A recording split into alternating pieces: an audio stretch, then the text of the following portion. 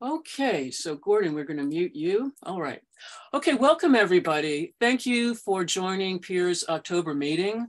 Uh, this meeting, the meeting tonight, uh, first of all, my name is Catherine Zoka, for those of you who I haven't not yet met.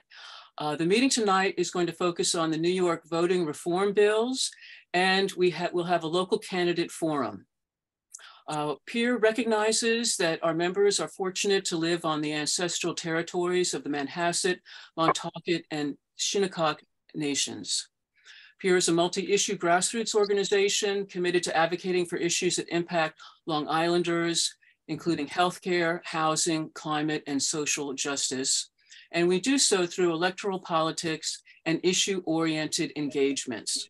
We welcome you to join Peer, and I will drop in the chat later on information on how you might be able to do that. So what to expect tonight? Um, as I've said, the event is being recorded. And again, I'll ask those who are not already muted to please mute yourself. Um, and when we have an opportunity to ask questions, I'm going to have you at, drop them in the chat and Julie Sheehan from Peer is going to, will either call on you or she will read the questions. But first, we're going to hear from Karen Wharton, who is uh, uh, coming to us this evening from Citizen Action New York. Then we will have the candidates forum. Uh, the candidates will briefly introduce themselves, identifying key challenges in their campaigns, after which we will have a, a moderated discussion. So let me just mention to you which candidates we have. Uh, from Southampton, we have Supervisor candidate Maria Moore and Town Board candidate Michael Iasilli. From East Hampton, we have Town Board candidate Thomas Flight. And hopefully soon to be joining us, we will have the Suffolk County Legislative candidate Ann Welker with us. Um, after the moderated discussion, there will be an opportunity for people, for participants to ask questions and answers. And we will end with call to action. So at this point, again, I thank everybody for joining us this evening. I'm going to turn it over to, to Jerry Maslanka from Peer, who will introduce Karen Wharton. Okay, thank you, Catherine. Um, yes, so we do have Karen Wharton with us. Um, she's a Democracy Coalition Coordinator for Citizen Action of New York and Public Policy and Education Fund. In this capacity, she supports the implementation of the New York State Public Campaign Finance Program aimed at reforming campaign finance in the state. She is dedicated to developing a BIPOC centered democracy, advocating for the protection and expansion of voting rights and ensuring that democracy is truly representative of all voices. So Karen will um, introduce us and uh, to the 10 bills that were recently signed by Governor Hochul, um, our reform um, voting bills. And she will highlight a few of those. And later on, we will put a link in the chat where you can go for further detail and explanation of these things, uh, these bills. So Karen, why don't you go ahead and take it away for us? Sure. Well, thank you so much, Jerry, Catherine, and uh, Peers members, candidates, and guests. Uh, thank you so much for having me here tonight. Uh, I have a brief, a fairly brief presentation uh, of, um, I'm going to go over some of, well, the highlights of uh, the slew of uh, election reform bills that were recently signed into law by Governor Hochul. So let me begin by sharing my screen. Here we go.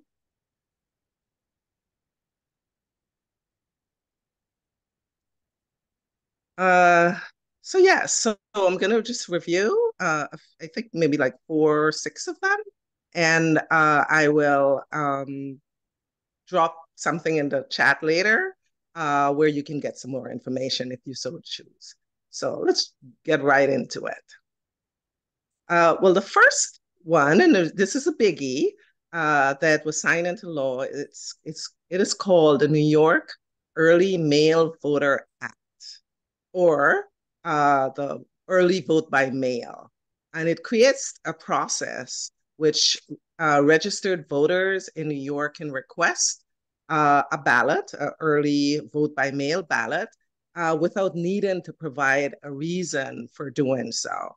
Uh, so um, the absentee ballot, as we know it, you need to provide uh, one of or choose one of five reasons uh, penalty perjury, so you can't lie. And basically, you can only access it if you know in advance that you're going to be out of town or ill or you're uh, disabled. But with this new system, voters will be able to request the ballot up to 10 days before election if they would like to vote by mail. And then the election board will then provide them with mail ballots with postage paid return envelopes, which is good. Uh, and uh, New Yorkers can then, um, you know, fill out the ballots uh, in the privacy of their home and return it. So this will benefit, uh, you know, for people who are disabled, for instance. Uh, recently, the Brennan Center uh, did a study along with the New York Disability Rights Group and they researched, they studied the 2022 elections and found that 94% of in-person early voting sites were not fully accessible for people with disabilities.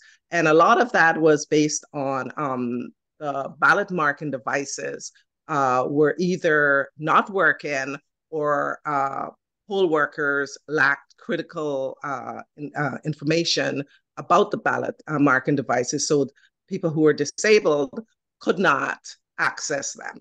So, but this new uh, legislation will bypass all of that. If you want to, if you're disabled and you want to, you can ask for a ballot uh, and you can fill it out at home. If you're not disabled, if you just don't want to go to the poll site or for whatever reason. Uh, so we feel this legislation will significantly expand ballot access in New York and it'll provide millions with uh, an easy, safe, and secure means of voting early. Uh, a favorite of mine is the Golden Day uh, for early voting. And what that is, is on the first day of the early voting period, uh, anyone who is eligible to vote, so a US citizen, 18 years or older, and had been living in New York, the state of New York, 30 days or more, can go to an early voting poll site on the very first day of early voting, register to vote, and vote at the same time and have their uh, votes uh, be counted. Uh, and so this is essentially uh, same day voting on one day, a golden day. Uh, the goal is to have same day registration throughout the entire uh, voting cycle from early voting all the way to the actual day uh, of election, but baby steps. Um, the, a second one is the polling place uh, uh, location deadline. Uh, so there's now a deadline set for changing the location of a poll site, polling place during early polling periods.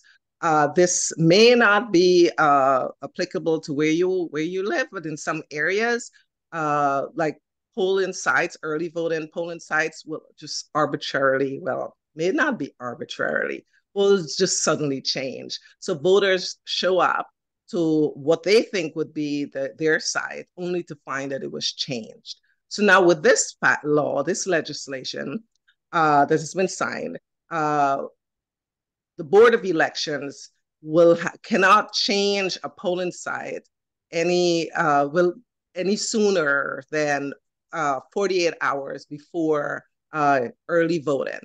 So you know that's us. What did I say? Any sooner? I'm sorry. Uh, they cannot change it two days up to two days before early voting begins. That's the deadline, unless uh, there's a declared emergency or disaster. So now uh, there have been some changes, some reforms around electoral education, and one of them is voter registration information for res- released inmates. Uh, it requires local jails to provide voter registration information to, again, eligible New Yorkers of voting age uh, who are being released from a correctional facility. So before the release from a local correctional facility of any person convicted of a felony, the chief administrative officer has to notify uh, the person both in writing and verbally that their voting rights will be restored upon release. And if the person needs uh, assistance filling out a form, uh, that has to be given as well. And then the person can either uh, submit the voter registration form upon being released or ask for assistance from the uh, from the corrections uh, from the facility, uh, and they'll be able to submit it for them. Uh, the second one along the same educational reforms, uh, ed ed electoral educational reform, is a student uh, voter registration policies. And this require, requires uh, local board of elections, board of educations, I'm sorry, board of educations, boards of cooperative educational services, charter schools, and non-public schools to adopt policies that promote uh, student uh, voter registration and pre-registration. So if you are 16 or 17 year old and uh, right now you can pre-register and when you turn 18, you'll automatically receive uh, you know, your voter ID, um, the little card that they, the Board of Elections sends you. So now we're asking with this uh, law, uh, the process will begin even at school. And uh, so, so the voter registration forms have to be made available uh, to, to high schoolers now. Uh, this takes effect uh, July 1st, 2024. And the goal is to encourage young people to participate in democracy and for schools to begin to talk to students about voter engagement, civic engagement. And the last one uh, that I'll speak about tonight is uh, prohibition of forum shopping. And so uh, this basically prohibits forum shopping where uh, you basically shop around for a judge that you believe uh, will, uh, ju- you know, be more favorable to your position when there are constitutional challenges for election law. So it means that constitutional challenges to the law, election law, and any related statutory claims must be brought in a venue where at least one plaintiff is located. So if you're living in Brooklyn uh, and the incident occurred in Brooklyn, you can't go uh, uh, file um, a lawsuit in Ithaca, New York. Uh, and the purpose is to end games, gamesmanship in election law litigation, where folks file frivolous, frivolous lawsuits uh, that help to stabilize, destabilize our democracy. And uh, that essentially brings me to the end. Uh, I have my uh, information up here. Uh, if you need to get in touch with me, if you have any questions that I'm unable to answer tonight, uh, please feel free to contact me. If you have, even if you want to hear about my work in public campaign financing, which I did not speak about tonight. I'll be happy to come back uh, at a later date and delve into that um, a little bit more. And with that, I will, I thank you so much for having me and I will stop sharing and turn back. Okay, uh, Karen, just one one question for you. We have none in the chat yes. at the moment. I think a lot of people here are very pretty well versed on many of these voting reforms, but do you see or do you know if there will be any issues with implementation um, or you know financing, et cetera, so that these will be on track for when they're expected and you know it'll be a smooth transition into these reforms? Uh, so I I I don't think that there'll be any issues really, other than with the early vote by mail. It is in litigation. Uh, the moment that it was signed into law, uh, lawsuit was filed by the, some Republicans challenging yeah. uh, the constitutionality. Uh, so we uh, we're hoping that uh, you know we will, as in the pro voting uh, position, will prevail. Uh, and this would be a system that is available to all New Yorkers. Mm-hmm, mm-hmm. Okay, great. That's terrific. Thank you very much. Thank you. Yes, it's a pleasure. Catherine, I guess back to you, or is it to Catherine Levy? I'll, I'll, I'll take over at the moment, then we'll pass okay. it along. Um, Karen, thank you so much for your time and appreciate your offer to come back and talk to us uh, about other aspects of voting. I mean, I just want to underscore how important all these uh, changes have been to opening up voting for all New Yorkers. It's a, a real win for us all, and but there are still more, uh, I guess, uh, challenges to to address going forward. So, thank you. Um, at this point, we're going to shift our focus uh, from voting to the candidates forum. And so we're going to have each of the candidates, as I said before, give a, a brief overview, brief introduction to, as to who they are and to discuss just, just briefly their campaign challenges. We're going to go in this order. We're going to start with the supervisor candidate, Maria Moore. Then we will pivot to East Hampton and ask Tom Flight to uh, speak. Michael will be third, and then Ann Welker. Hopefully, by that point, will be here and join us, and so she will be able to introduce herself. So, Maria, if you don't mind unmuting yourself, and uh, we welcome you to Peers meeting, and we'd love to hear about your background and your campaign. Thank you, Catherine. Yes, I, am Maria Moore, and I'm running for Southampton Town Supervisor. I'm currently the mayor of Westhampton Beach, and I'm in my 10th year in that position. And it's truly been a privilege to be in a position to affect positive change in the village.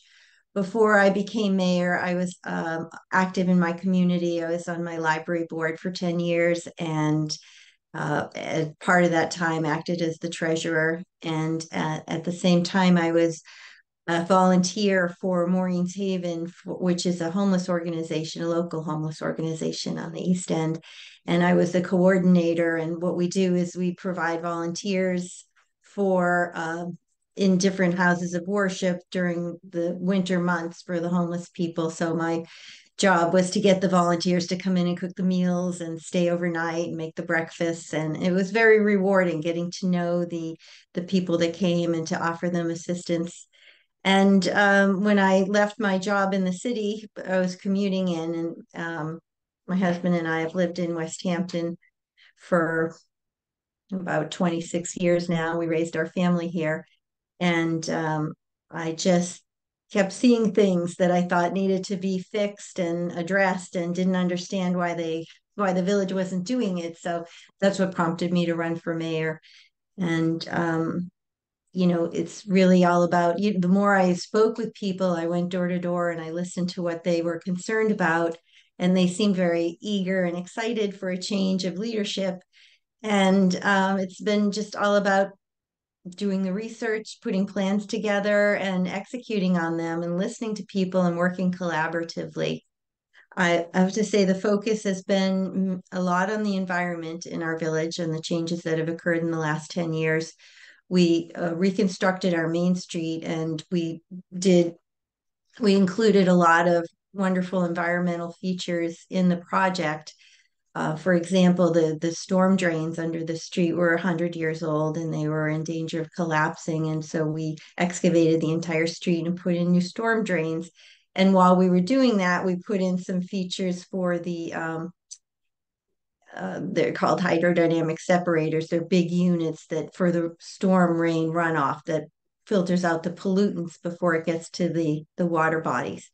And we also put impermeable pavers and LED lighting, and we just made sure that we were doing things that were really going to help the environment. In addition to pedestrian safety features like traffic circles and raised crosswalks and um,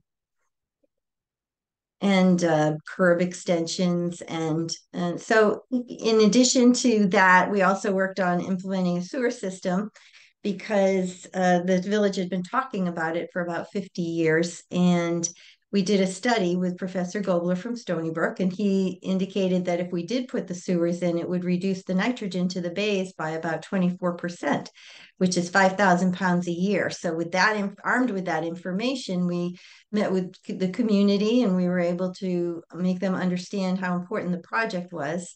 And because of those environmental improvements that would occur, uh, we were eligible for a lot of funding from New York State. And the town and the county.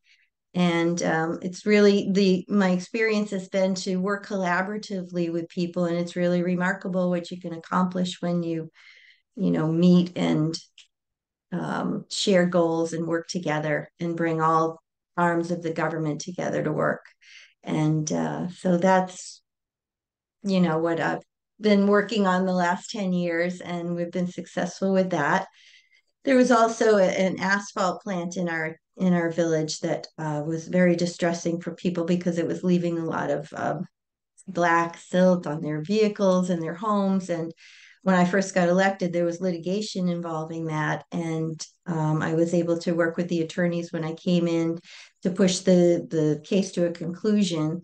The asphalt company wanted to uh, wanted a, quite a lot of money to settle it, and we didn't think it was appropriate to pay them and we pushed it. And before the trial came, they ended up, you know, closing up shop. And so um, that was a very important win for the environment and the community. Um, I, you know, I'm happy to take questions. I don't. Uh, is well, time terrific. for that or? At this point, we're going to pause, uh, but you know, thank you for that. Uh, just one quick question, though: Would you, in a minute, maybe share your campaign's challenges that, as you perceive them, um, you know, to three weeks before election? Well, it's you know, it's difficult to uh, um, communicate positions in little sound bites. So that's why forums like this are so important where the community participates. And so that, and there have been other debates that are uh, very important to get the word out. It's challenging to um, get people motivated to get out to vote. So I know everybody on our team has been out knocking on doors and reminding people of the importance and and our uh, party leader Gordon here has been helping us coordinate with mailings and um, you know newspaper ads. But I think that that that's the critical thing is is getting financing for the campaign and also getting people boots on the ground to get out there and remind people to vote. Great, great. So thank you, Maria. So now we're going to ask Tom if he would introduce himself and talk about his campaign challenges. Hello, good evening, and thank you. Um, sorry, it's been a crazy day today. I had to pick my daughter up from urgent care, so it's um it's uh, a little stressed when I first got on the call. Um, and I just wanted to thank Karen very quickly because I thought that presentation was fantastic, and thank you for doing the work you're doing to ensure we get the vote out. Um, you can probably tell from my accent, I'm not originally from America. I, I grew up in London, in England, um, but I had the fortune of meeting my wife um, 20 odd years ago uh, in Edinburgh, in Scotland. And uh, we got married scandalously young and we moved back to the US and we lived on the uh, West Coast for some time. And then we managed to come back and settle in Montauk. Um, so uh, that's how I came to be out on the East End. Um, you, from a professional perspective, um, before moving out here, my career was in corporate strategy and finance. So I was at Gap where I was in charge of the market planning um, for all the Old Navy, Gap, Banana Republic stores across the US and understanding interactions between how they operate, look at socio-demographic records to understand how to best deploy the company's resources. Um, from there, I got uh, headhunted to go to Walmart, where I was given the same job looking into introducing small format grocery stores um, into urban areas in the US. Um, Walmart at the time was very concerned. There was a company called Tesco coming over um, who were looking to target a market they'd done very successfully in the UK. And, um, you know, they, they felt that was a corporate risk. So wanted to look at doing these stores. Um, it was a it was a long story. They really weren't behind it um, in the way they should have been, but gave great insight into you know how when approached from a strategic perspective, planning, urban planning, and proper analysis can really help us as a community provide the best resources. Um, you know, it, it, there is a science to it, um, and there's a skill set to it. Um, but long story short, I, I went to Ann Taylor. Um, it's a long story, but I was, I was I was offered a job in Germany, but um, ended up working for Ann Taylor in New York City. Um, I was head of finance for their internet outlet uh, and credit card divisions. Um, it was a, it was a tough time, honestly. It was right after 2008, the Lehman Brothers crash. I was commuting in from Westchester. We just had our second kid, and um, you know, I, I got offered the opportunity to buy a business out in Montauk. Um, and I, I, fell in love with the place. Um, I have a bookstore, I have a clothing store. Um, I became a citizen in 2015, and um, I immediately joined the local fire department because that was a requirement. And I'd been a critical care EMT for eight years there. Uh, I joined the local school board. Um, I coach soccer teams. I, I, coach a men's rugby team because I think the importance of having male mentors out there for young men is critical right now. Um, I, I, love my community. It's uh, I, I, serve it as best I can. Um, you know, we we have so many issues we're facing out here. Um, we have this incredible environment, but we also have an economy that um, no young local person realistically can envision a future where they can live out here. Um, so it's this very strange kind of place to live. Um, very few people can honestly afford to live here. I, I have two businesses. Um, you know, I will keep them if successfully elected um, to run for town board. I simply have to. I have a a senior about to enter college. I have two more kids to go to college. It, it's it's a strange place to live, but I'll be damned. We we have to do our best to ensure we maintain it as best we can. Um, the environment out here is incredible. I'm fortunate. I go swimming every day. I was in my short shorts swimming today in the in the sound because the wind was coming from the south today. Otherwise, I'd go in the ocean. It's incredible. The, the physical beauty, the cleanliness of the environment out here the responsibility I have, I feel, is like um, being elected representative to East Hampton Town is immense.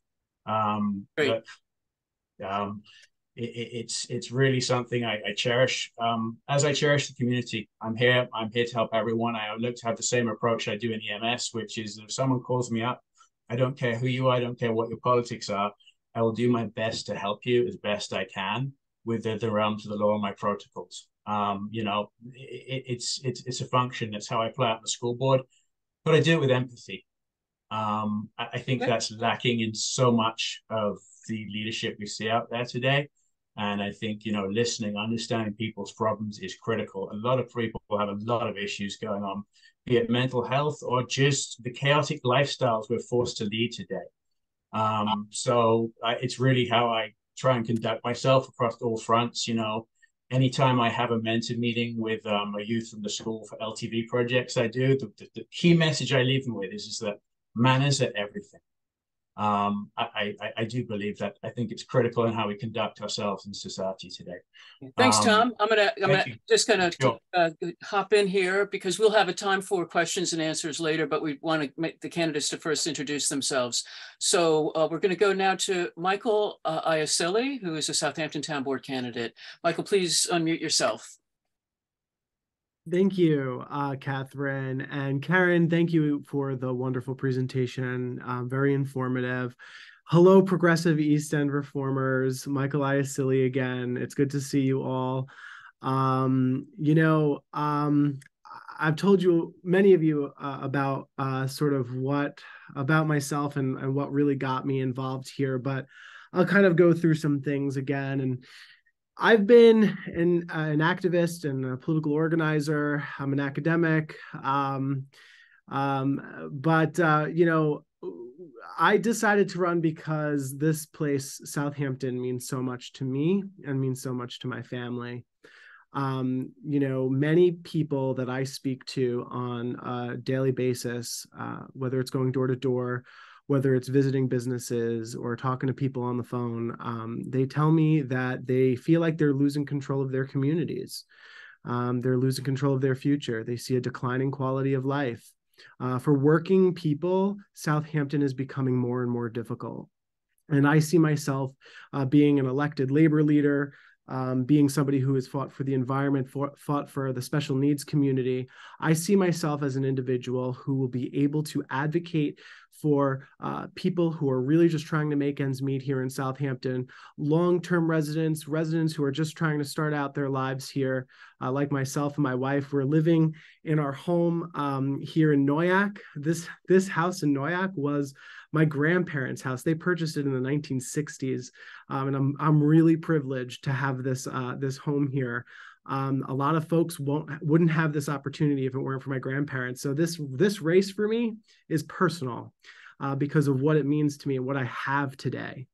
Um, that being said, I was an elected labor leader with the Faculty Association of Suffolk Community College, uh, where uh, we work to provide uh, more of a voice to adjuncts, uh, the rank and file mem- members of our union. Um, and and I had I had been elected right before the pandemic, and um, when the pandemic hit, a lot of our uh, uh, constituents were feeling like they were going to lose their jobs. Many of their courses got cut. I advocated for them. Um, when it came to the special needs community, I was appointed to the uh, Brookhaven Town Disability Task Force, and uh, I helped uh, work on creating annual seminars with uh, elected leaders and advocates so we could connect residents to special needs services because a lot of those services are actually really difficult to find. But when you have somebody in government that is connecting residents to the programs, people begin to have faith in government again. You know, Maria Moore mentioned something about collaboration and making sure you get people to the table. I believe I see myself in my role as a labor leader, uh, an advocate for the special needs community, and as in my role today as legislative aide to Bridget Fleming, where I've worked on key environmental uh, policies such as protecting the Long Pond Greenbelt. Um, we worked on housing legislation, transportation. Um, if we are committed to working with all members of our community and uplifting the voices of everyday working people, I believe that we can really reach a new horizon in Southampton where everybody can thrive. Um, and I'm really looking forward to that. And um, I really hope uh, that you know what we can do in the future is is continue to to to see how we can improve um, our environment, our bays, our waterways, which are certainly seeing a decline because of overdevelopment, um, because of the need for septic improvement. My time in the Suffolk County Legislature has has really yielded some knowledge of how to actually connect people to the septic improvement grants, which is really critical because the Suffolk County Legislature failed to ensure that we can have a county-wide sewer district. So in the meantime, we need somebody who knows how to get people connected to the right services in government so we could make sure we're moving our communities in the right direction. Now, that being said, um, I want to just mention that uh, the challenges that our I think our campaigns are facing is this. Um, look, this is good. This is an off-year election. Um, I believe that it's going to be a low turnout. We really need to do what we can to get out the vote. Um, you know, when I go to people's doors and you know, in Noyac or in, in, in, Hampton Bays, they, they don't even know an election's coming. So we need to make sure that we're telling folks, look, there's an election coming up. You know, it's important to get yourself out, also get your family members out and get your your your siblings out. So I think really right now what we should be doing is we should just be trying to figure out how we get the word out of this election, inform the folks about uh, our candidates running, and I think that we'll do do a good job if we can do all of that. Well said, Michael. Thank you. Appreciate that. Um, that's what it's all about, getting people to the polls to vote. It's all about turnout. Um, so now we're going to go over to Ann Welker, who has joined us in, in progress. And if you want to unmute yourself and give us a little of your background and talk about your campaign challenges, that'd be great. Hi, everybody. So nice to see all of you. Thank you so much for taking the time to be with us tonight. Isn't that an amazing slate of candidates that you've just heard from? Like one after the other is just amazing. It takes courage to run for elected office and each to each of you who are candidates at this time or perhaps some of you on this call who have been candidates in the past you know how difficult it is especially in these last 19 days. So we just have to we just have to hang in there for 19 days. But these are the most important days. Um I said yes to uh running for Suffolk County Legislature um, back in February. And pretty much since that day, um, I've had my foot all the way to the floor uh, on with the gas. Um, it's it's a long run. It's it's a lengthy time, but um, after serving as a Southampton Town trustee for six years, um, I felt that this next step when it was offered to me was um, was an important one the ability to take what i've learned as a trustee and take it with me to the county legislature and be able to help those um, that to just to be able to build some bridges. I think that's the important thing. I was able to build bridges as a trustee working with my board and i look forward to being able to do that at the county level as well. Um, the it was particularly concerning there was an unfortunate vote that took place in july that will be one of my priorities to work on the Suffolk County Water Quality Restoration Tax. The the implementation of that tax, the the active moving forward, advancing of that tax is critically important to sustaining the funding for the upgrades for our innovative alternative septic systems. That is, water quality is what brought me out from under my rock to run for trustee and um, it's something that um, it got me involved um, at uh, with water testing for Surfrider with the Blue Water Task Force many years ago, and it has it's keeping me going now to be able to move on to this next, perhaps move on to this next level. Um, the challenges that I see with the campaign.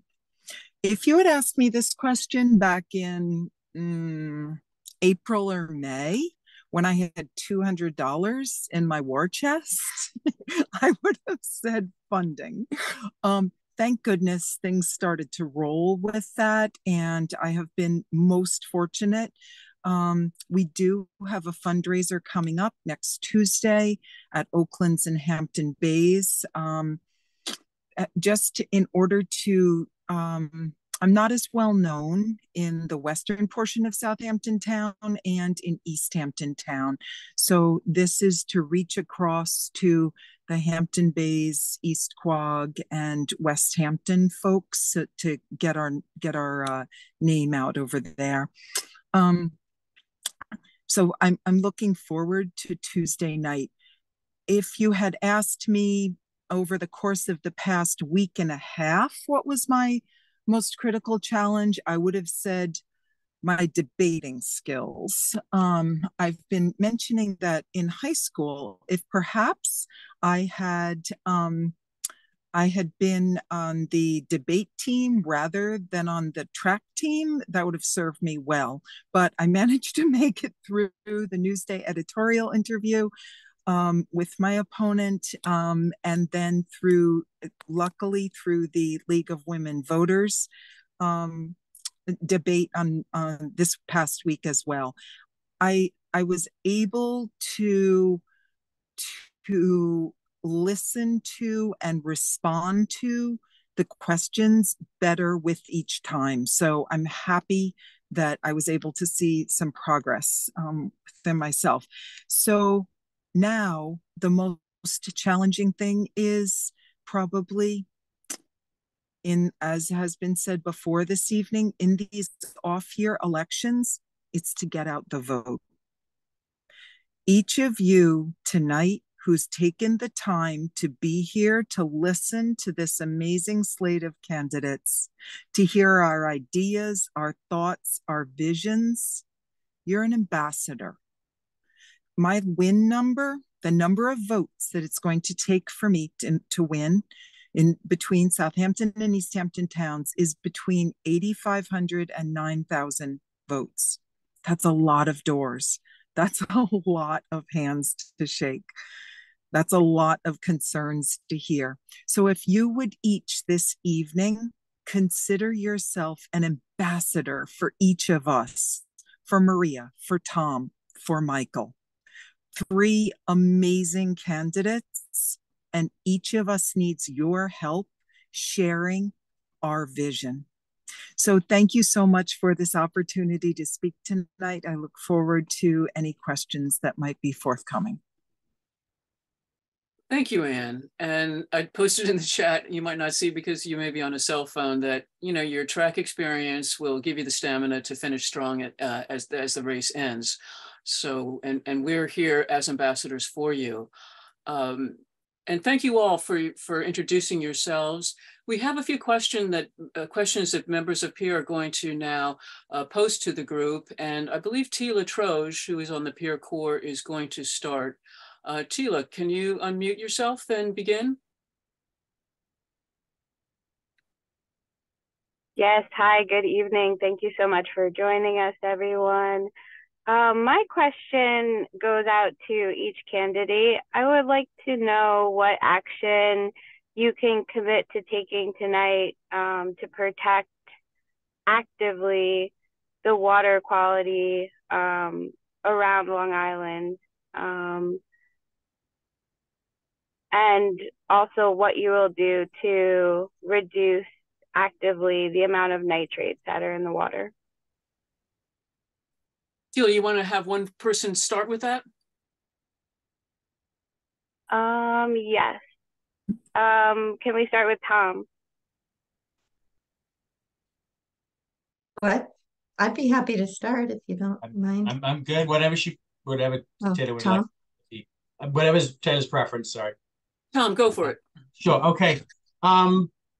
So, what actions would I commit to protect quality around Long? I- I'm going to come at this from a local perspective immediately. Um. You know, because that's where I would have jurisdiction to kind of make a change. Um. In my hamlet of Montauk, we are fortunate to have the second largest body of freshwater pond on Long Island. Um, we we've seen the water quality in there dramatically diminish um, during our peak tourism seasons um, to the point that there's algal blooms cropping up.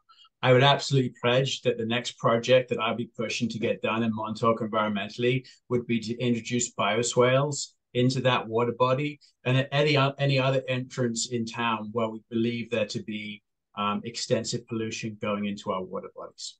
Um, you know, in terms of reducing nitrates very specifically, um, you know, the use and the promotion of the CPF fund we have out here to uh, increase and enhance our use of IA systems, I think would be critical. I also think in that realm, we need some blue sky thinking and, um, you know, there's opportunities to explore uh, more implementation of recycling of gray water for irrigation opportunities, even at the private house level. Um, you know, it's blue sky, it's out there. But I, I genuinely believe that with the resources we have and the skill sets we have people out here, there is opportunity for us to become, you know, leaders in water quality protection. Um, it's something I, I would do, and it's something that you know, it's an industry that I would like to push and preserve. Um, I don't know if you read a few months ago, or sorry, a bit longer actually. Um, there was a paper done by the Newsday Group called the the um, the blue economy, effectively for Long Island, kind of discussing how um, you know that is really how we as a larger community need to be positioning ourselves, um, build, building industries around um, protection and enhancement of our water quality out here. Um, we, we, live in a phenomenal place. Uh, we need to be doing everything we can to protect it. Does that answer enough?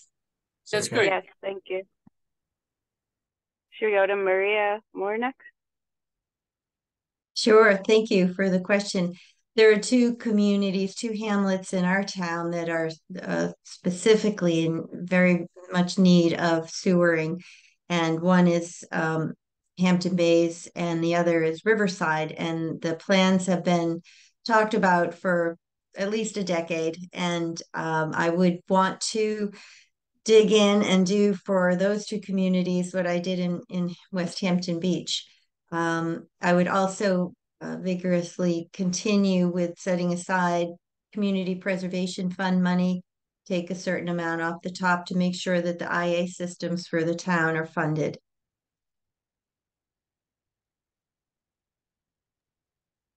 Awesome. Thank you. Um, Anne Welker. Hi, how are you, Tela? Great to see you.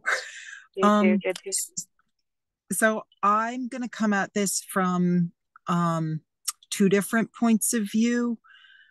Um, one would be streamlining the um, innovative alternative septic um, grant process um, the, at the both with the CPF and there's one one application that's necessary for the CPF um, grant, and then there's another that's necessary for the county and the state. If we were able to somehow streamline that, because I seem to hear over and over how difficult it is for people to get through this process as individuals. There are a couple companies that are helping with this as consultants, but I think we can do better and make it be more more user friendly to attain this grant funding. Um, there is um, there's hope for that, I think, but it's a super important process. The other thing that um, I'm going to take a, a, deep look at, there was um, legislation that was passed at the state level.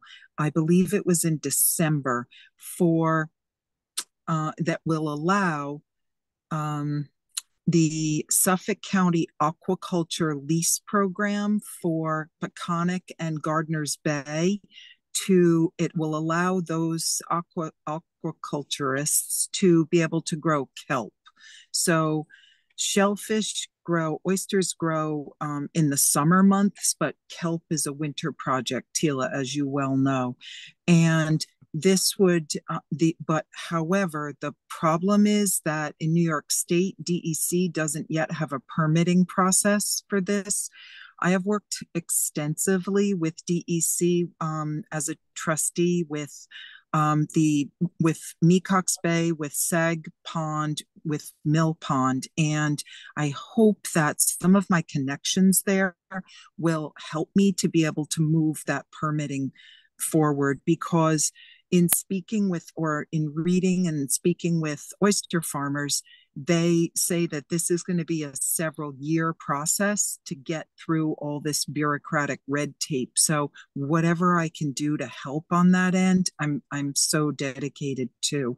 It um new york is it's estimated depends on who you speak with but it's estimated that we're about 30 years behind connecticut rhode island and maine in terms of in terms of oyster farming. So I, I, like to catch us up a little. Sounds great. Um, Michael? Thank you, Tela. Um, great question. Nice to see you. Um, so, so yeah. So, so first of all, I think we need to start off by saying that our economy is heavily reliant on the health of our bays and waterways. So, this is such an important issue, not just for obviously the the importance of keeping our our, our water clean, but also for ensuring the sustainability of our local economy. Um, so there are two things I mentioned earlier about the septic improvement grant process that the county runs. I'd like to um, work on integrating um, a periodic seminar at the town um, for residents to become informed of the, uh, the, the, the, grant application process for septic improvement and IA applications. That's an important thing. You know, a lot of people, you know, if they are aware that that it exists, great. But there are people who are not plugged into government that just don't know. And I think that if more people know, more people will do it, especially out here in Southampton where people might have a little extra income where they're you know what they have a they have a, a, home that that can be suitable for an IA they might be willing to go through the process um, and it's a great process because they receive $10,000 in grant funds. And if they can qualify, they can receive up to five to, to 10 more additional thousand dollars as well. So that's a really important thing. Um, so I look at maybe having the Department of Health Services, somebody from the county DHS, come in and give a presentation um, on a periodic basis at the town and and ensure that our council members are doing what they can to inform um, their residents of, of the process. That's number one. Um, number two, I'd really, I really, I think it's important that we advance our nitrogen reduction initiatives as well as carbon capture initiatives. And as you know, Tela, and as Anne referenced, the kelp program um, that the Shinnecock kelp farmers are leading is really just as successful. They're showing successful gains, and I think we need to do more to partner with the nation to become informed on how that process works and how we could replicate it across our other water bodies to improve uh, the health of uh, uh the aquaculture because we are seeing a regeneration in various uh, uh, uh, marine life that is really important for the sustainability sustainability of our waterways. Um, also, Cornell Cooperative Extension has has been doing great work with uh, eelgrass restoration and showing how they're reversing scallop die off. I think that that is really, really critically important for us to move forward on. Now, the way we can probably expand these programs, which I think is important, is tapping into, yes, our CPF, which is going to be important for us. And, and it's great that we have a lot of money going in there. So let's use a lot of it up uh, for this. But at the same time, let's also tap into that 4.2 billion in the New York State Environmental Bond Act. That's there for a reason.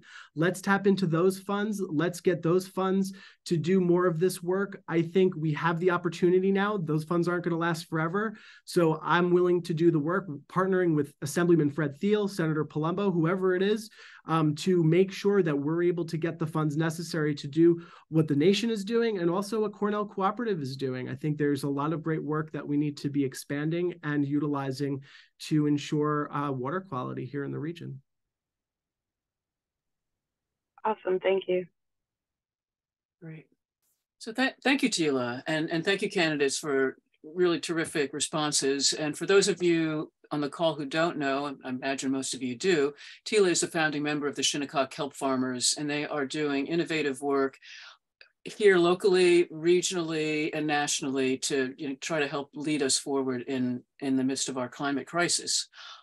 So at, at this moment, I'm going to turn it over to Catherine Levy, who has a question, I believe, on transportation. I'm so grateful that these terrific candidates have talked about how difficult it is for working people to sustain a, a, a, decent life here. And I think that one of the greatest challenges that working people face are our terrible and ever worsening traffic and transportation problems. So, can you identify what are the most serious problems and how we might address them? And I know that Michael has thought a lot about this, so I'll begin with him.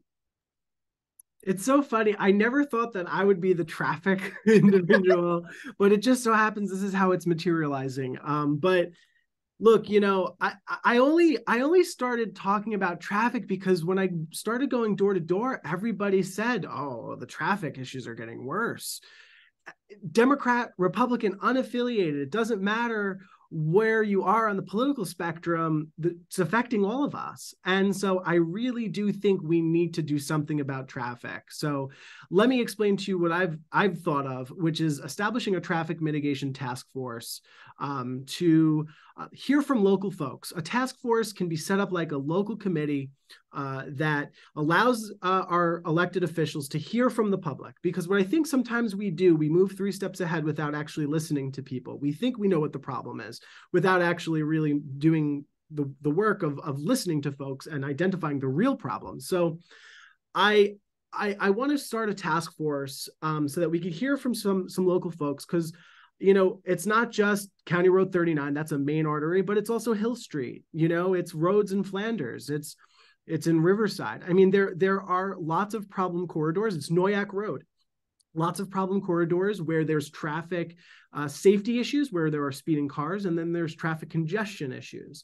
So, what I'd like to do is I'd like to make sure that we are uh, finding ways to mitigate some of the, the, the traffic congestion and ways to keep families safe on the road.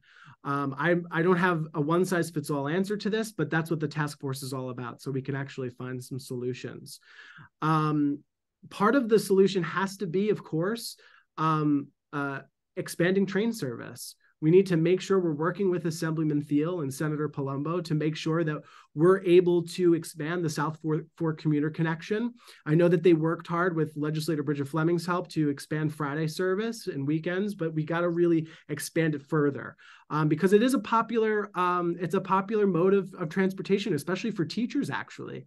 Um, so let's try to see how we could do that. In addition, we also have uh, something that legislator Fleming uh, uh, unveiled in the last couple of years, which is the Suffolk On-Demand Bus, which is essentially it's a public transportation bus that runs between Sag Harbor Village to Southampton Village at $2.25 a ride.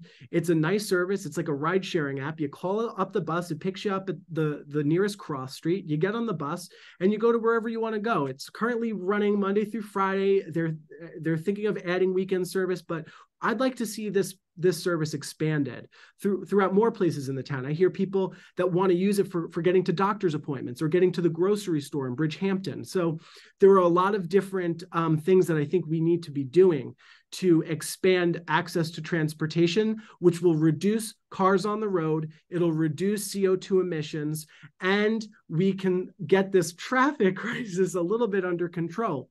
So again, I think that we need a traffic mitigation task force. We need to expand public transportation services. And I'll also say this, I think we need to figure out how to enhance some housing um, east of the canal um, that doesn't add to the density. That's number one, but actually allows for for folks who who work here to actually be able to commute to and from work, um, go home, go to work. Um, I, I, would look at the dorms in in uh, Southampton, Stony Brook, uh, which have been abandoned for quite some time. Um, I'd be willing to work with Assemblyman Thiele. I think he needs uh, supporters at the town level to and the county to help move this process forward because we need to actually negotiate with SUNY to try to get this to to to not be dorms abandoned dorms anymore and and maybe push it to workforce housing. Let's try to do that. I also do have a housing proposal, but we won't get to that. We'll save that for later. Um, Anne, do you have something to add about transportation and traffic? Sure. Sometimes you have to look at the low hanging fruit and and going after that and uh, what i've been thinking about is county road 39 and what are some fairly simple things that could be done there to just make things a bit safer. And it's not getting traffic off the road or anything like that but it is making things safer. We need a left hand turn signal at the light at the college as you're heading east at tuckahoe road and we need a left hand turn signal at tuckahoe school. Those would be two fairly easy things that i believe can be done at the county level that um, would definitely make things i know that when I turn left at, at, at either of those intersections, I mostly I don't turn left. I turn right. I go over the railroad tracks at the college. I turn around and I sit at Tuckahoe Road facing north until the light changes and then I go straight across. That, you know, that seems like it should be a fairly simple fix. I don't know, but it's an idea. The second thing is to look at the syncing of the lights on County Road 39 to make sure that they all turn at the same time so that when the traffic flows, it flows. That again, um, working with D Suffolk County Department of Public Works should be an easy thing to go after, hopefully. And hopefully it can be done or at least investigated to make sure that if the lights are not now are not presently synced, they could be.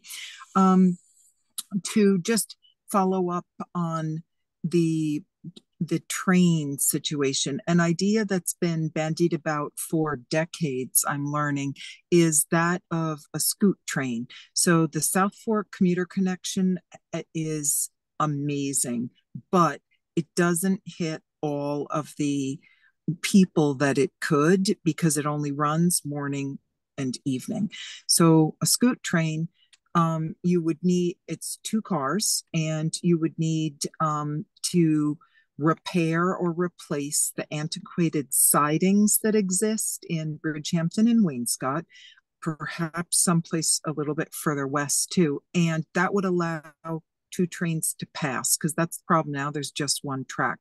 But a scoot train with two trains could go back and forth all day.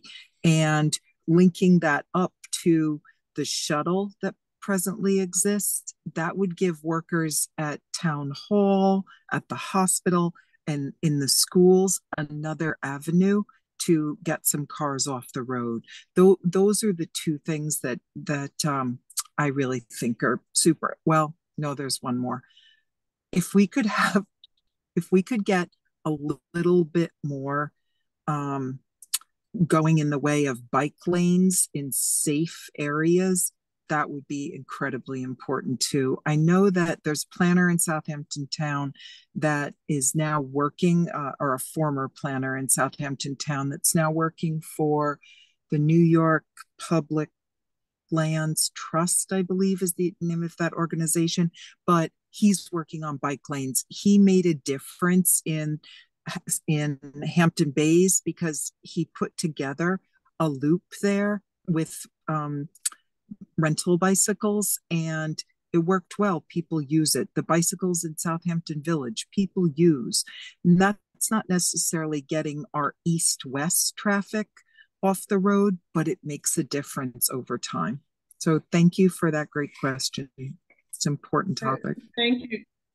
Thank you, Ann. You, all of you have too many good ideas and we have too little time. Um, so Maria, I'm going to ask you the same question. I just urge you and Tom to be brief because I know there are many pressing questions that we want to ask you before we have to disperse. Maria, you're on mute, Maria. All you're right. on mute. Thank you.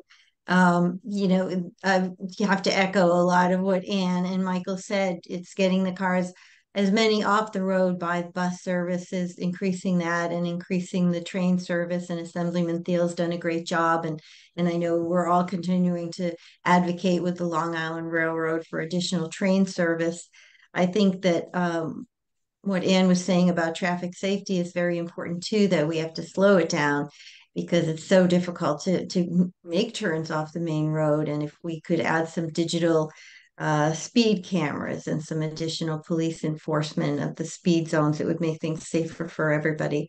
I think traffic traffic circles are an effective way to move traffic along, and um, you know also if we can get some uh, affordable housing in the hamlet centers that would reduce the need for cars that people could live and work and shop within a walking distance from their home and um, oh, there was one other thing I was going to say, and I can't remember what it is.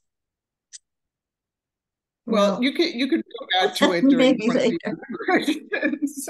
um, so Tom, from the ideas, uh, right? from the perspective of East Hampton and Montauk in particular. Yeah, no, and listen, I, I think you know they, they've covered a lot of this, which is you know we, we need to invest in public transport, we need to invest in bike paths. Um, you know, I, I am I'm, I'm for of that. There's one other aspect of transport I just want us to think about too, all of us going forward is um, you know, one of the things I'm looking at with East Hampton specifically is our emergency preparedness plans. Um, God forbid there is a big fire up here, and it's a very real threat with the peak with the dead trees out there right now. Um, how are we getting people out, truthfully, or, or any other coastal emergency there is? Um, I, I drive the ambulance; it can be crazy. It, it, it's ridiculous, and we, we need to kind of all ensure as leaders within our different areas that the interaction between districts and levels of government to ensure that that plan is working is a critical part of all our jobs for transportation. So um, I just that's the only thing I'm going to add.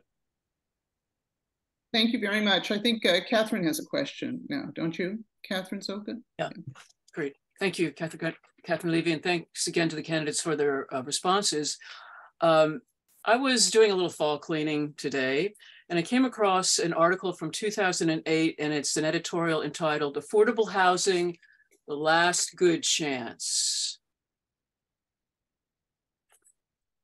The article was about the Bulova Watch case factory in Sag Harbor, where the county, by law, could have put 20% of the units that went in there as affordable, which would have given us about 19 units in downtown Sag Harbor of community housing for teachers, essential workers, and the like. So my question, and everyone has already touched on the, the ab absolute crisis that we have in housing. Uh, there's a desperate need for housing for teachers, for nurses, um, for retail workers. I'm a small business owner as well. But then on the flip side of that, um, there's a need, there's a rampant supersizing of luxury housing that is maxing out lot sizes um, and it's gobbling up resources like water, energy, and the treatment of the lawns is adding to chemicals to the, the nitrate uh, crisis in the bays. So I'd like to hear from each of you what really what one or two specific code changes or amendments that you could put in at the town or the county level that would encourage more affordable units while reducing the impact of the excessive luxury development that we have. And for those who are running for town office, I would like you to also include how you can maximize the use of the uh, community housing fund and when you feel you'll be able to see the town start to um, use that and have an impact. Um, I'd like to start with Ann because I started with a reference to the county and what the county, if I can say, failed to do in the Bulova Watch case factory, which to, in my way of thinking has really, really started the emergency uh, housing issue in Sag Harbor. So Ann, please. I was not aware of that, Catherine, and that is so disappointing to hear um, because every single unit matters. So, fast forward, that was 2008, I believe you said, right? Fast forward 15 years. Um, that's almost embarrassing to uh, to to reflect upon that that mistake. But so looking at things now, um, the septic system that um, upgrading septics and addressing septic um, is an important part of all of this. And I think that's something that that's a, a real focus of mine is streamlining that septic because I believe that we have pool houses, we have um, attached garages, we have guest houses. If there's the possible or or um, garages that might have the possibility to play to do a small um, a studio or a loft situation overhead. Um, that's where we need to look um, to expand those because with um, it doesn't it increases the the density but only a bit so i think that's an important part of this tying it into the county and the septic i also think that um, no, there. I don't know if any of you saw the film um, One Big Home. It was um, made by right. I think you know that carpenter from Martha's Vineyard that took 12 years to make that film he was really he was uh, he was ahead of his time it was shown out here several times but it wasn't and I went to see it a couple times because he traveled with it frequently and he spoke. And it wasn't until I saw it in Orient and he he zoomed in because he was no longer traveling with the film. It wasn't until I saw it in Orient with a packed room that it really made such a difference because that's when the town of Southold really went after their zoning and looked at restricting the zoning, the size of the zoning, as is now being looked at in many situations. But that's uh, that's more a town issue. But I just wanted to remind you of that film, One Big Home. So septic is what I'll be looking at. Okay, great, thank you. I mean, it's a regional issue too that needs to be looked at from the uh, legislate, the county as well as the towns. Uh, but Maria, if you wouldn't mind tackling that question for us, we'd appreciate it. Sure, thanks. I would just make sure I'm not muted again. I would uh, make sure that the or or help to make sure that the community housing fund in the town uses their resources that you know it's a new program there's not a lot of money accumulated yet but it'll happen quickly with all the transfers property that occur in the town And I'd like to see some of that used for a down payment to help first-time home buyers and also funding to rehabilitate um, you know, the zombie homes and funding for accessory dwelling units so that people can uh, share their homes and also get income. So creating housing and helping the homeowner. Um, uh, with respect to the abuse of the water um, for irrigation, you know, it's always shocking to me when the local newspaper publishes the worst offenders and it's incredible you know how much is being used and it's a shared resource. And um, we've I've you know I've spoken with representatives from the Suffolk County Water Authority as to how to regulate that. This you know and they've encouraged every municipality to pass zoning codes to limit it at least odd even days. And and uh, the a little problem with the enforcement of that but um, I know that they're also talking about raising the rates, having much higher rates, depending on, you know, the more you use, the more you're going to pay. So um, that's a problem. And I would certainly advocate to address at least that part of it. Let, me ask, and obviously all these issues we're talking about are interrelated, traffic, housing, uh, the environment. But uh, specifically, what changes might you introduce into the town government or um, another way of looking at it is, is we already have accessory apartment legislation on, on the board, uh, on the books for both towns, but we don't have a lot of, of uh, community accessory apartments being built. Is there a way we can accelerate that? Or is there some other way we can you know, with code changes, get more, um, get people to have more of those pool housing or garage apartments built and used. Mm-hmm. Uh, code changes to make it uh, more available in in in other in you know more districts, but also um, the, there is a program that just recently got started in the town and it's being funded by the state for it, it's income qualified though um, that they provide i think it's $125000 to the homeowners to convert a part of their home for a separate entrance and a separate unit. And then the town also has funding that they provide for a similar program that's not income qualified and so there's an educational piece too, getting the information out there to people and making them know that it's available. Great. Okay, great. Thank you. Thank you, Maria. Tom, would you give us East Hampton's perspective, please? Yeah. Um, it, it's very interesting. I'm going to come this from a personal perspective, first of all. I mean, and just a planning perspective, which is that, um, you know, and I hope Francesca's going to answer your question in the comments. Um, the the most environmentally friendly way to house people out here is higher density buildings. Um, you know, it, it's environmentally the best way. Is it the best way for us out here? No, because we, we have a character of community that we are looking to preserve. Um, but I do think the overall strategy is one of increasing housing density. It's a question of how we do it.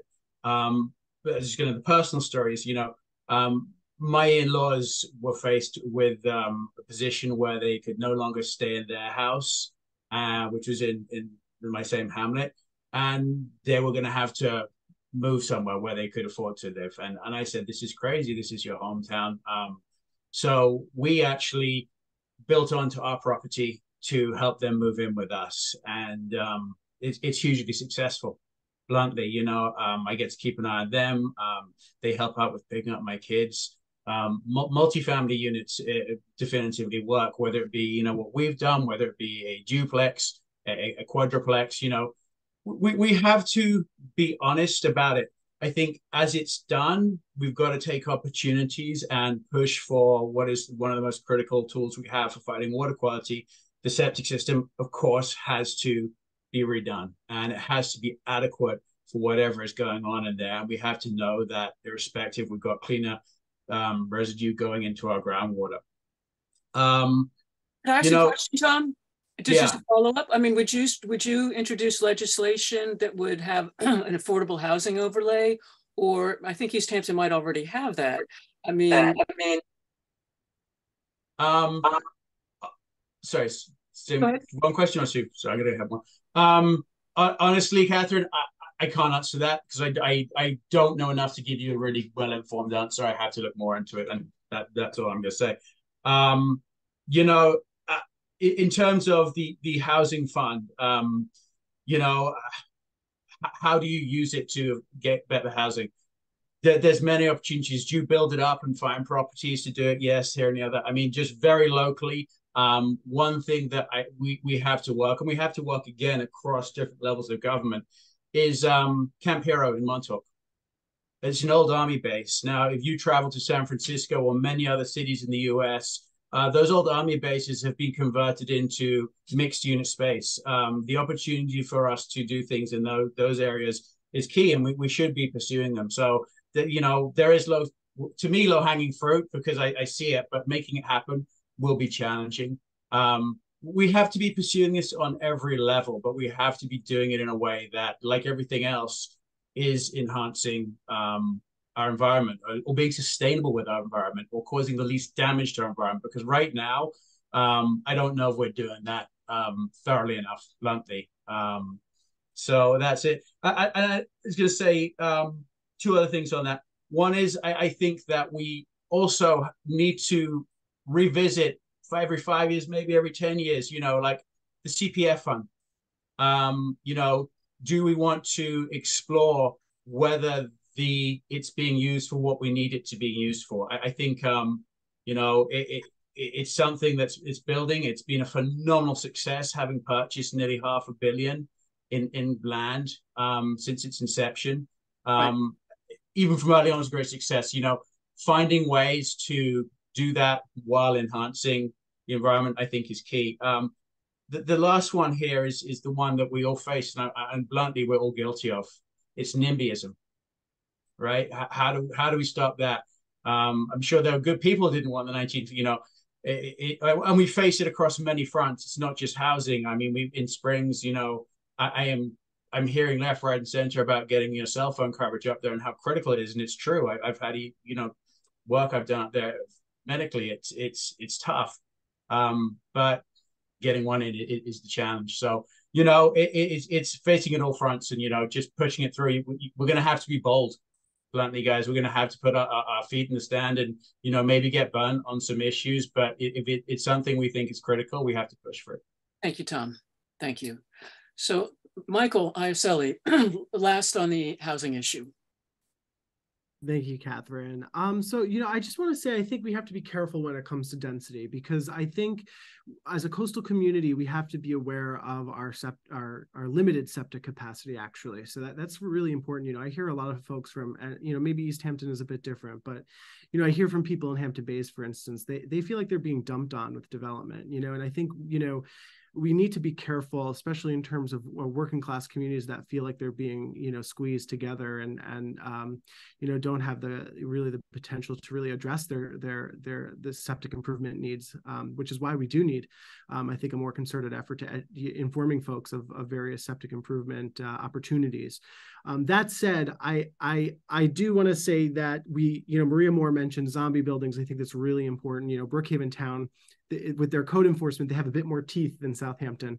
So, um, you know, they are able to sort of tackle zombie buildings and repurpose them for uh, affordable housing in a much more swift, swift way. I, would like to try and identify areas where we have zombie buildings.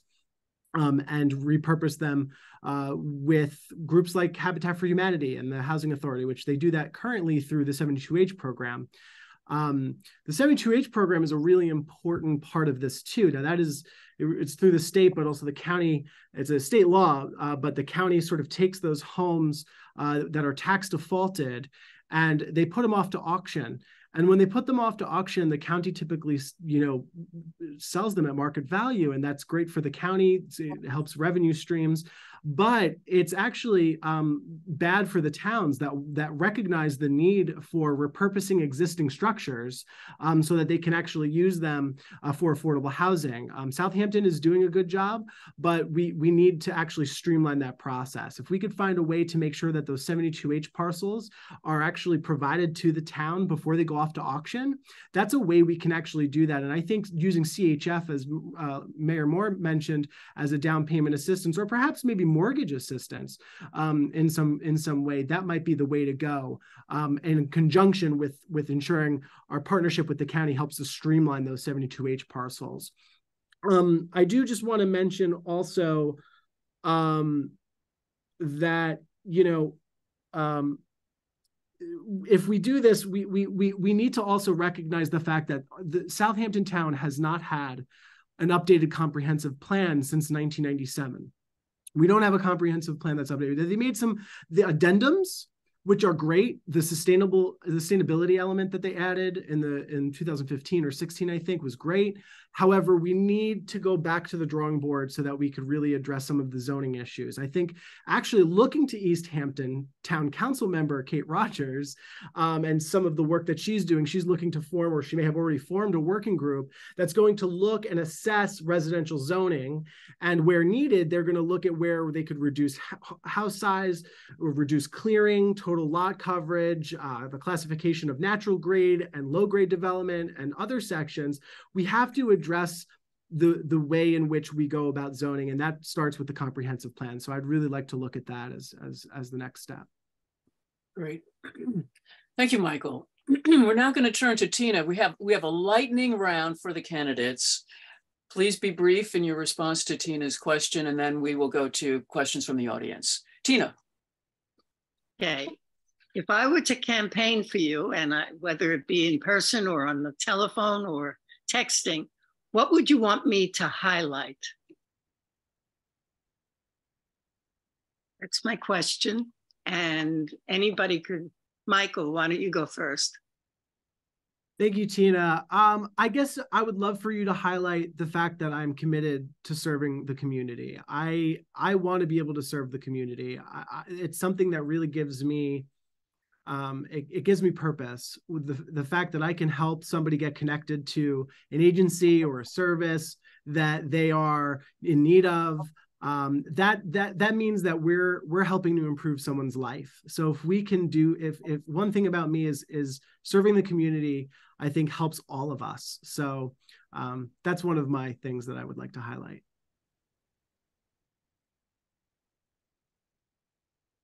And Sure. I think that I would like to stress, to, I would like you to stress two things. One being my six years as a trustee, as a town trustee, working not only with other members of the board, but also with the town and also with state and federal agencies. Um, I am a connector, and um, I feel that moving from town trustee to county, that's going to be an important aspect of things as I move forward, per, per, hopefully. So that that would be what I'd like you to stress. Thank you. Um, who's next? Tom? Um, I, I'd hope you'd say you'd like him, you know, but I, we don't know each other personally. But you know, um, I I really pride myself on just trying to do the right thing out there. Um, you know, I, Michael hit on it. I think earlier. It's like you, you have to love doing the right thing for your community, and you know you're going to get it right as much as you can, but you're going to make decisions in a truly fair way with um, the well-being of most people out there. Thank you, Maria. I would want you to say that experience matters and results count, and that I have been the mayor for nine years, and um, there's been a lot that's been accomplished in our village. And I would want to treat each hamlet the way I treated my own village. And um, for me, it's not about politics. It really is community service, as it is for everybody that I'm running with. Thank you. Okay, thank you, Tina. Uh, and again, thank you, candidates. Jerry, uh, I'm going to call on you as our chat monitor. I, I, I, think at least Francesca has a question. I'm not sure if there's any others, but. Um... Yeah, um, I, I see no others. Um, so Francesca, why don't you go ahead? I believe your question was for Tom. Um, so go ahead, unmute yourselves.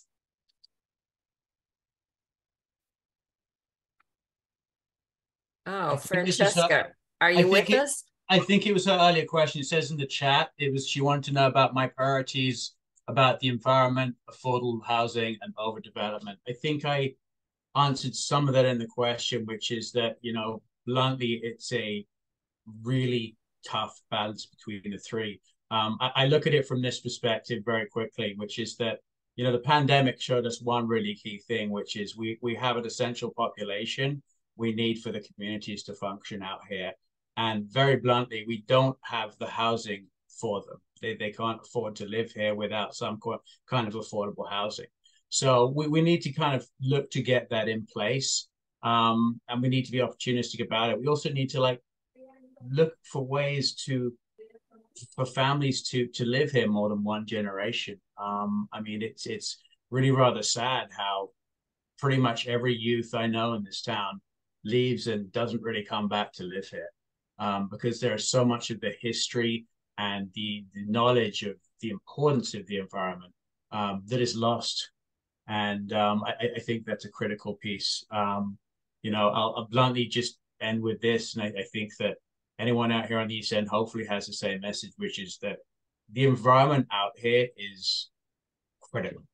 It is it's why we all choose to live here. It is the economy. Um, I'm a strong believer that it's an intricately tied to our health, uh, and we are very fortunate to live here, and we we have to do our best to protect it.